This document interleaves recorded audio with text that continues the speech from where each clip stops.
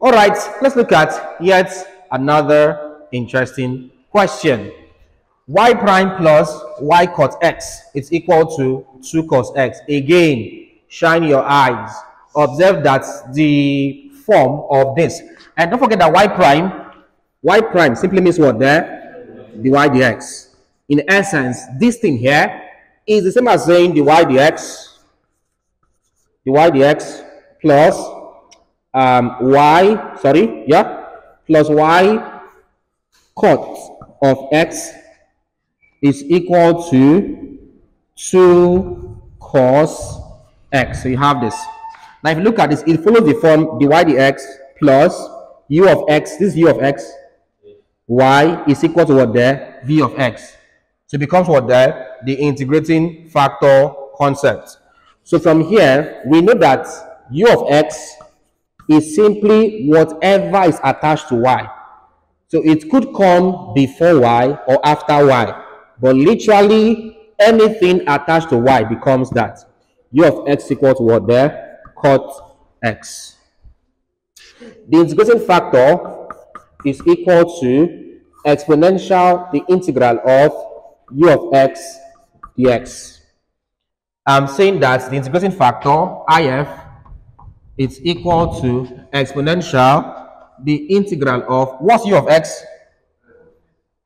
Cot x Yes, we have this. What's integral of cot x? What's integral of cot x? What's cot x? Huh? What about? Hold on, hold on, hold on, hold on, hold on. Let's let's let's get something right. What's cot? What's a cot x? What's cot mean?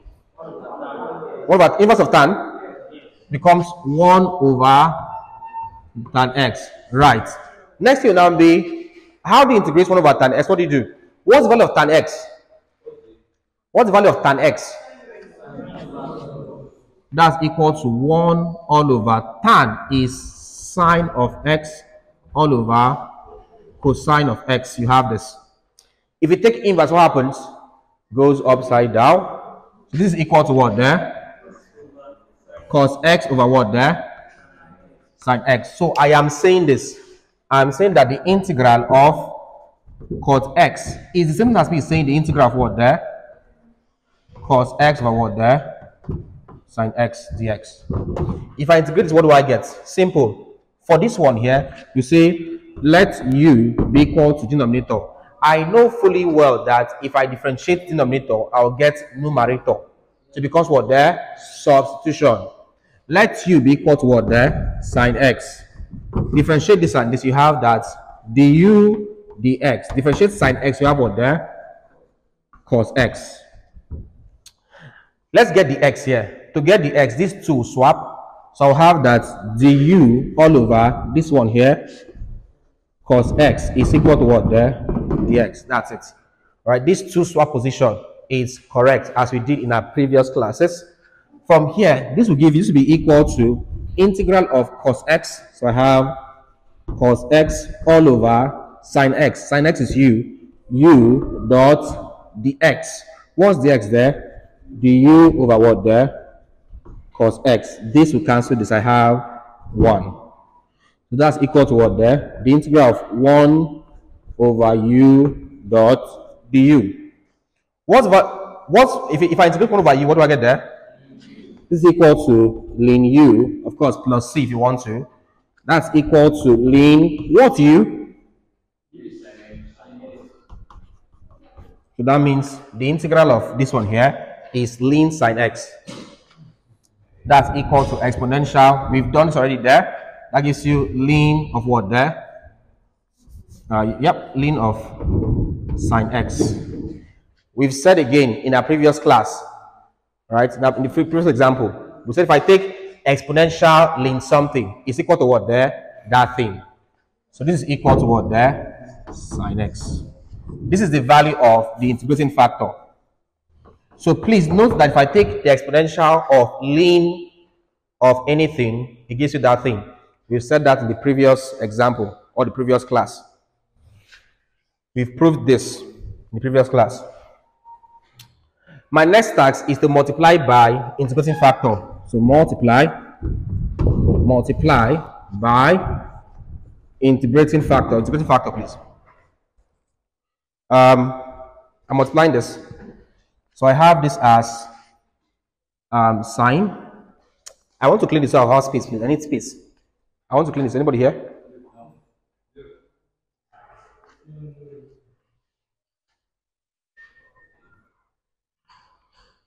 Please copy down, copy down, copy down. Let's see what we can get. Or better still, I could just clean this off and um, yes, I could take sine x to this. I could have sine of x, this into this. That's dy dx plus y cot x. Cot of x. Since I already have a round bracket, I'll change it to a square bracket come here, change this to square brackets. This is equal to sine x2 multiplying this man here, multiplying 2 cos x. Let me just use round bracket here. So I have this. So sine x multiplied both sides. This and this gives you dy dx sine x plus this and this gives you what there um, this one gives you what there? y sine x. y sine x cot x. Cot x. It's equal to this and this and this. Gives you 2 sine x cos x. So I have this.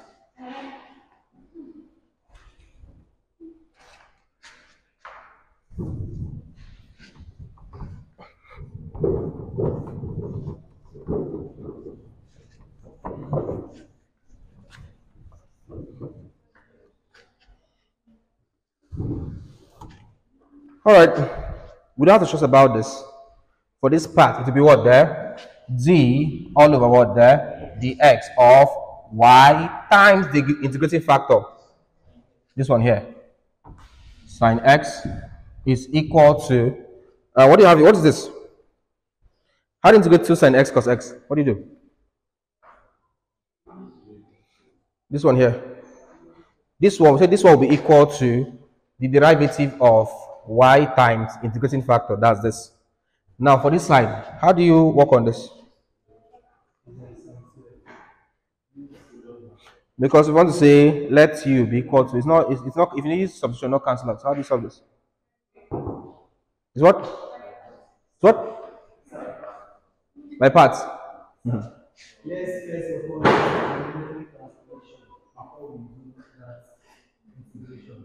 Yes, that's actually correct.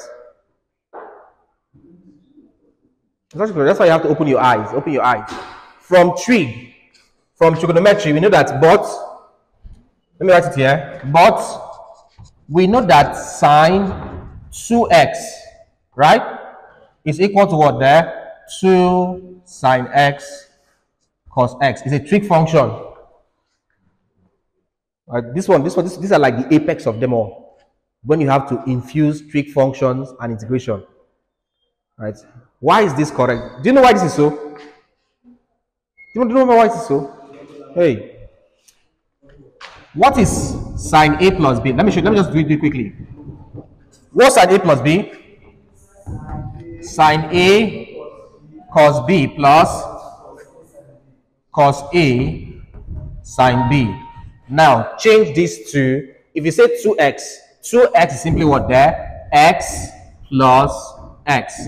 That gives you sine x cos x plus cos x sine x. I change both of them to what there? X. This gives you that sine x plus x gives you what there? 2x is equal to, now, sine x cos x is the same thing as cos x sine x. True or false? Talk now. Sine x cos x is the same as cos x sine x. Yes, so it becomes what there? These two are the same thing, so it becomes what there?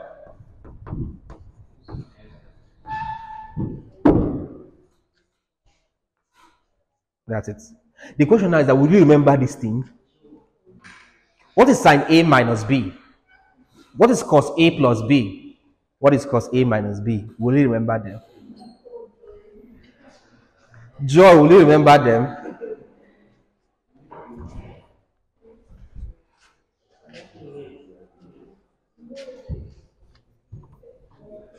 So in essence, this one here gives you what there? Sine 2x. Please, fast, I want to clean up, please. Fast, fast, fast. I want to clean up, please. Let's now integrate. Let's now integrate, please. The x goes here. I'm having d of y dot sine x is equal to sine of 2x. The x goes here becomes what there? The x. So I have this. Of course, next task, integrating through. If I integrate, I'm having what there? Integrate through, I have the integral of d of what there? y sine x is equal to the integral of what there? Sine of 2x dx. Um, how do I divide this board now? Okay, I'll just write it here at once. Integral cancels d. So y sine x. Right? Integral cancels d. y sine x is equal to. If I integrate sine 2x, what do I get?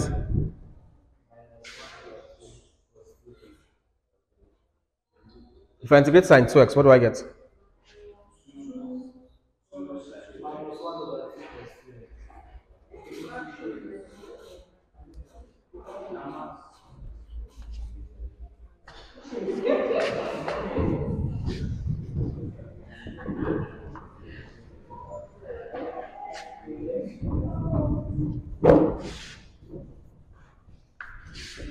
The tax here, the integral of sine 2x dx. Substitution method, you say let u be equal to, tell me the bracket, 2x. What's du dx? du dx is equal to what there? Differentiate 2x, you get what there? 2. How to get the x? They will switch over. So you have that du all over 2 is equal to dx. Let's substitute. This becomes the integral of sine 2x. 2x is u. That becomes u dot dx. What's the x there? du over 2. From here, you can see 1 over 2 already. Take it outside integral sign. 1 over 2 integral of sine u du. Sine u, please, total derivative. If I integrate sine u, what do I get? Minus cos. That's equal to 1 over 2. Integral of sine u gives you uh, this into minus cos u. This is equal to minus times this gives you minus 1 over 2 cos u. What u? That's equal to minus 1 over 2 cos 2x. This gives you minus 1 over 2 cos 2x plus c, of course. How to get y here? At this point, divide through by what there? Sine of x. Okay, divide. So at this point, you just write down divide by sine x. So this one here, this all over sine x, this all over sine x, this all over sine x. So what do you have there? This will cancel this. y is equal to, so I'll just take 1 over 2. This is same as saying minus 1 over 2. You can take this over this, please. That becomes cos of 2x all over sine x.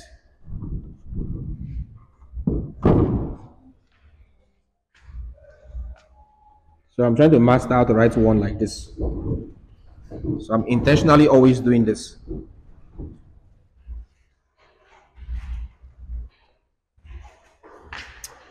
So you have this, this plus c all over sine x. So basically, here's your answer. But as you know, you don't always start a fraction with a negative. So you have to swap them, swap them, swap them. And by swapping them, by swapping them, I mean this.